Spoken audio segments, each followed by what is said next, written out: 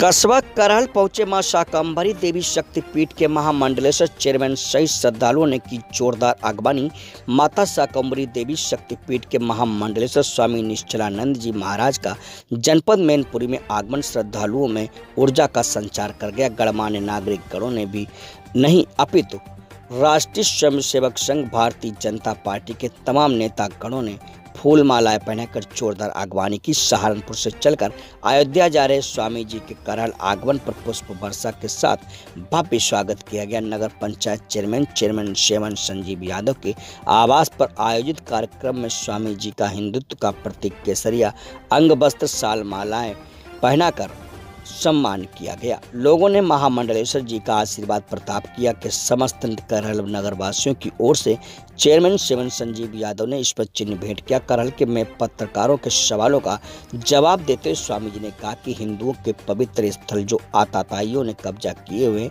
सभी पवित्र स्थल हिंदुओं को वापस मिलना चाहिए इस मौके पर आरएसएस जिला प्रचारक सुदर्शन चक्र चेयरमैन संजीव यादव, भाजपा जिलाध्यक्ष प्रदीप चौहान, रविकांत जैन कुमुद अश्विनी यादव, लाल सिंह वर्मा, सचिन वर्मा, प्रशांत यादव, अनमोल वर्मा आदि मौजूद दिखे।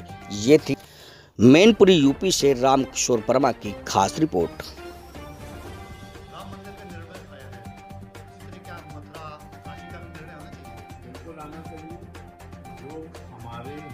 जो जो पवित्र स्थल हैं, जो इसी तरीके से जो आतताइयों ने कब्जा कर रखा है, वो हमारे हिंदुओं को मिलना चाहिए।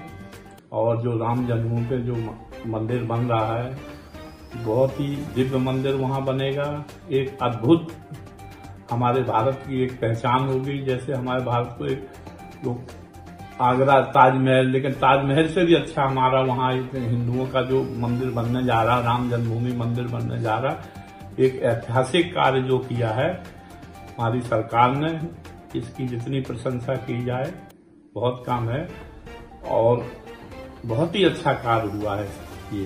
अच्छा निधि समर्पण अभियान चल रहा है इस समय तो राम मंदिर के लिए उसके लिए आप क्या कहना चाहेंगे लोगों हम तो ये कहते हैं कि ये अच्छा कार्य है। भाई जन जन से पैसा लग रहा है कि है?